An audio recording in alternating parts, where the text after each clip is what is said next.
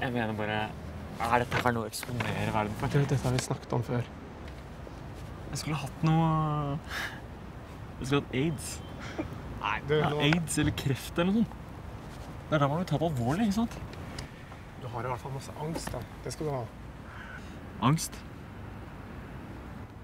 Nei, jeg har ikke ordentlig angst heller. Nei, du. Se på han der, da. Hva tror du han ville fått ut av det jeg har skrevet? Ikke. Han, øh, han burde ha angst, i hvert fall. Gratulerer med dagen, da. Gratulerer med dagen.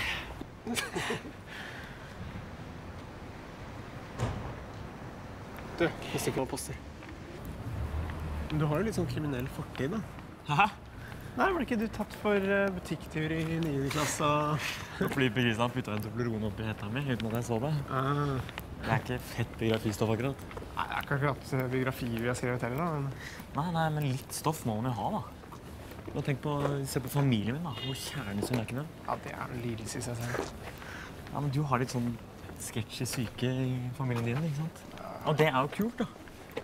Mens en biografi om meg, det ville vært så tynt. Ja, tynt, ass. Jeg syns ikke det.